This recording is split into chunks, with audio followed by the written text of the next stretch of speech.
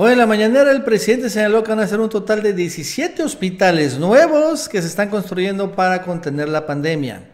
También señaló que médicos y enfermeras que tengan más de 65 años podrán irse a sus casas. Los demás, sin embargo, van a tener que estar ahí trabajando para contener la pandemia. Y por cierto, el presidente también fue, muy duro contra Gustavo de Hoyos, este, el presidente de la Coparmex, porque se está pasando sus críticas y realmente está desinformando a la gente.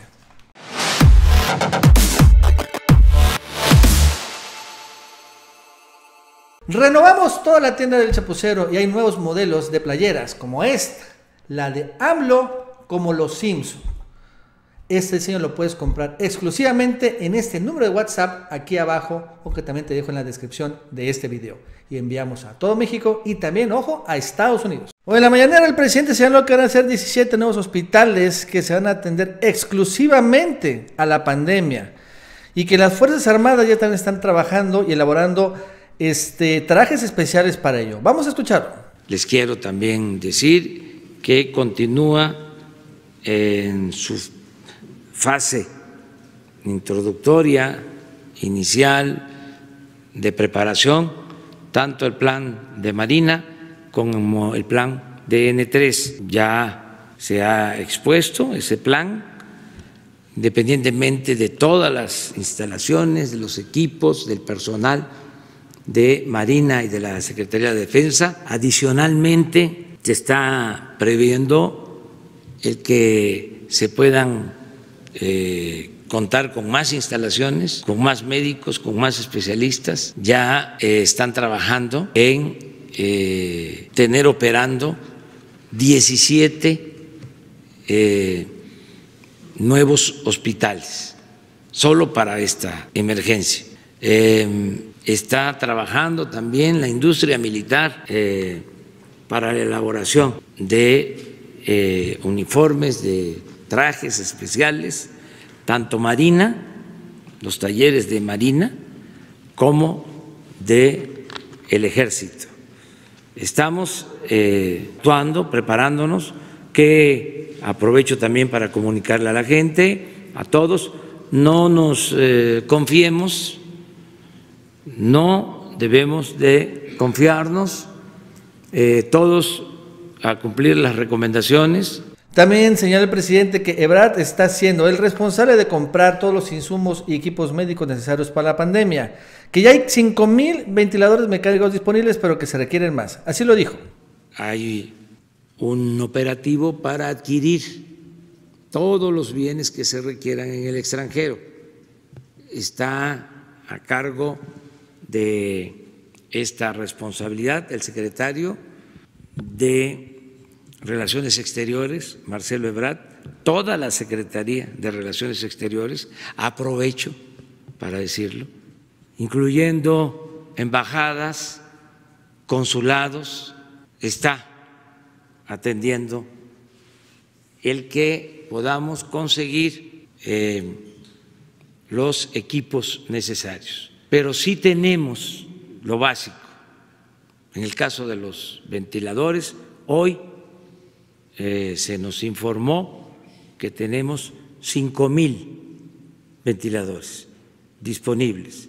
Nos faltan más. Estamos partiendo de eh, lo que están recomendando los médicos, lo que prevén los médicos, de cuándo vamos a tener eh, más necesidad de hospitalización eh, y cuándo eh, debemos de tener todo lo necesario.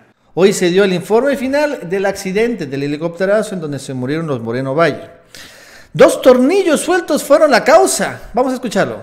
Del accidente del dictamen, causa probable del accidente del helicóptero ocurrido el 24 de diciembre de 2018. un breve recorrido, eh, es el accidente que, como ustedes saben, eh, lamentablemente perdieron la vida la señora Martérica Alonso, gobernadora entonces del Estado de Puebla, Rafael Moreno Valle, senador, esposo de la señora y exgobernador del Estado, y Héctor Baltasar Mendoza, asistente del señor gobernador, así como los tripulantes, capitanes, pilotos, aviadores, Marco Antonio Tavera Romero y Roberto Javier Cope Obregón. Como a ustedes les consta, eh, durante el tiempo que pasó desde el accidente del 24 de diciembre a esta fecha, eh, se dieron nueve conferencias de prensa eh, mostrando cuáles eran los avances de la investigación. El contacto de uno de estos tornillos con las terminales 1 y 2 de la tarjeta electrónica que los, que los controla, que los comanda, y es lo que explicará el ingeniero Morán con detalle, permite la posibilidad de un desplazamiento no comandado, o sea, un desplazamiento eh, autónomo del helicóptero en la dirección del actuador eh, lineal correspondiente. ¿Cuál es entonces lo que llaman la causa probable del accidente? La pérdida del control del helicóptero debido a, un alabeo repentino hacia la izquierda que no fue recuperado por el piloto al mando, tiene una fracción de tiempo, tres segundos nada más, provocando que el helicóptero se invirtiera en vuelo e impactara con esa configuración contra el terreno. Estamos entrecomillando, este es un extracto del dictamen que ustedes podrán ver con toda amplitud. También en la mañana el presidente señaló que médicos y enfermeras con más de 65 años que padezcan hipertensión o diabetes podrán irse a sus casas. Los demás, sin embargo, van a tener que atender a los enfermos. Esto fue lo que dijo. Hay también una situación que quiero comentar. Hay servidores públicos que tienen funciones necesarias de atención a la gente. Por ejemplo, médicos, enfermeras. ya no puede haber un servidor público ahora eh, más indispensable y necesario, que tienen eh, ya más de 65 años o que padecen ellos de diabetes o de hipertensión entonces, en esos casos, esa voluntad de ellos.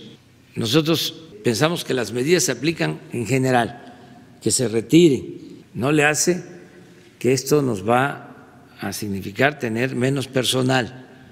Ya estamos también previendo esto. Pero si alguno quiere participar con todo el cuidado, si son ellos médicos, si son enfermeras, si ya saben de lo que se trata, cuidándose bien, lo mismo, ¿no?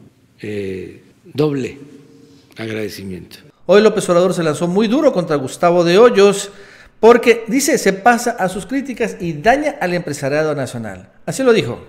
Voy a la supervisión de unas obras, eh, vuelo de Vallarta a Tijuana, que ahí está también uno que quiere ser candidato de un partido conservador que todos los días se dedica a estarnos atacando.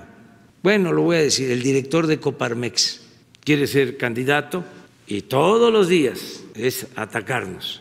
Entonces, no vaya a querer estar ahí este, o mandarnos gente.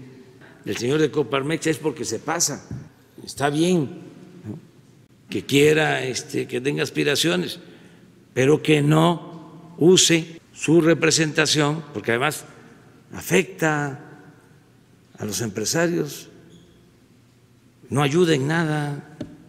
El propósito es que actuemos con responsabilidad para salir adelante y vamos a salir.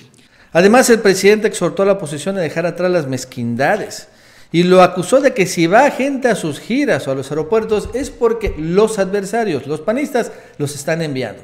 Vamos a escucharlo. No es el tiempo para las mezquindades y eh, a los adversarios exhortarlos a que ya no sigan mostrando el cobre, porque perjudican, confunden y dan pena ajena, porque ellos también se perjudican, hacen el ridículo y pierden autoridad, que voy a estar en Bahía de Banderas hoy.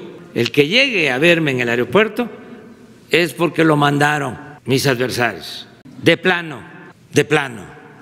Porque son capaces de eso y de más. Para que los medios de comunicación que no nos quieren puedan sacar la nota. Ahí está el presidente, dando el mal ejemplo. Ahí está el presidente comiendo en una fonda, cuando debería de estar esa fonda cerrada y el presidente eh, guardado. No, esa fonda no tiene este, ninguna limitación para dar el servicio, de eso vive. Si quieres anunciar tus productos, servicios, aplicaciones en el canal del Chapucero o el Chapucero USA, envía un WhatsApp a este número telefónico o un correo electrónico a esta dirección